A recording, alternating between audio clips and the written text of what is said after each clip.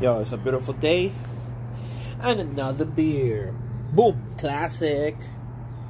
There we Ooh, we're definitely getting one of the 903 today. Raspberry Beret. Slushy. Let's go. I love when I open these cans.